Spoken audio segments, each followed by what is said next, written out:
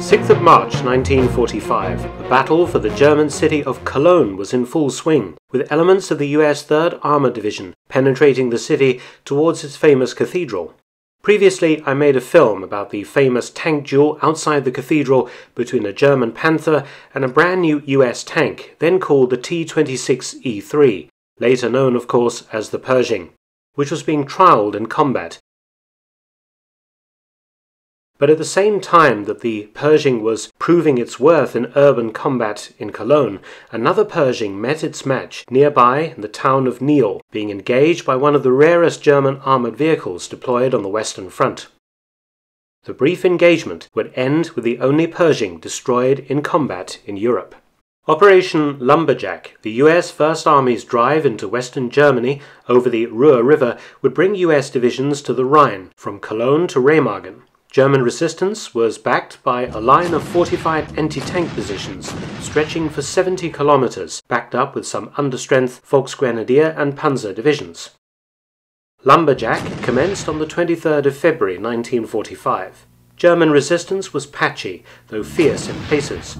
German armour in the west had been squandered in the pointless Battle of the Bulge in the winter of 1944 45, so Panzer units were under strength and padded out by training school staffs and students, and the tanks, including Tiger 1s and Tiger 2s, were a mixture of recently repaired vehicles and fresh replacements. The Americans, on the other hand, faced no such limitations. The 3rd and 9th Armoured Divisions were at full strength and pushed forward with devastating artillery and aerial support. And among the armoured regiments were 20 brand new Pershing tanks making their combat debut. Intended as a replacement for the M4 Sherman, the Pershing was designed to give it the edge over German tanks like the Panther and Tiger I. Mounting a 90mm M3 gun and better armour than the Sherman, much was expected of the new type. The 20 sent to Europe in January 1945 was split between the 3rd and 9th Armoured Divisions in the US First Army. The Pershing first saw action on the 25th of February, two days into Operation Lumberjack, when a T-26E3 named Fireball engaged a Tiger I at Elsdorf. The 33rd Armoured Regiment Pershing was disabled in a brief duel with the German Tiger I of Schwerer Panzerabteilung FKL 301. I deal with this in another of my previous films. Fireball was hit three times, the fatal shot penetrating the upper lip of the aperture for the coaxial machine gun on the left side of the gun mantlet, killing two crewmen inside the turret. However, this tank was later repaired and returned to service.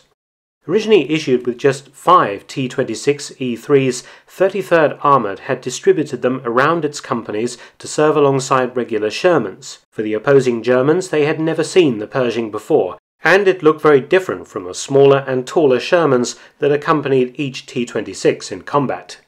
On the 6th of March 1945, Company H, 33rd Armored Regiment, part of the US 3rd Armored Division's Task Force Hogan, was advancing just before dawn on German positions near the village of Glesch, near the Erft Canal not far from Niehl. German resistance was collapsing in the face of strong US armoured thrusts, but though weak, German armed forces were still capable of springing some nasty surprises. Hidden in a hull-down position was one of the rarest German armoured vehicles, a Nashorn Panzerjäger or tank destroyer, an open-top vehicle based on the chassis of the Panzer IV and mounting probably the most devastating anti-tank weapon of the war. At 24 tons, the Nashorn, German for rhinoceros, was half the weight of the Pershing. It was also tall and lightly armoured, but this didn't matter, for it was designed to kill tanks from beyond the range of their enemy's guns. It was a kind of tank sniper. Relatively cheap to produce and very mobile, the Nashorn mounted the most lethal gun on the World War II battlefield, the 8.8 cm Pak 43. Its tungsten carbide cored round could punch through 190 millimeters of rolled steel armor at 30 degrees from 1 kilometer.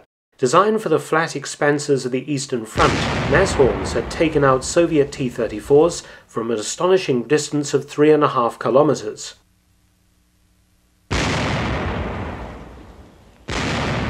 Now, outside the village of Glesch in western Germany, a hull-down Nashorn of 2nd Company Schwerer Panzerjägerabteilung 9-3 lined up on the largest Allied tank its commander could see, the squat, much larger Pershing from among the herd of advancing Shermans. On this occasion, the range was with the Allies, but though the Pershing got to within 300 yards of the Nashorn, it never saw the German tank destroyer. The Nashorn fired as if dealing with a Sherman, firing low, shells slamming into the lower bow, passing between the driver's legs before setting off a fire in the turret. The crew abandoned the tank and survived, and ten minutes later the ammunition exploded, burning out the turret and the front end of the hull, causing its total loss.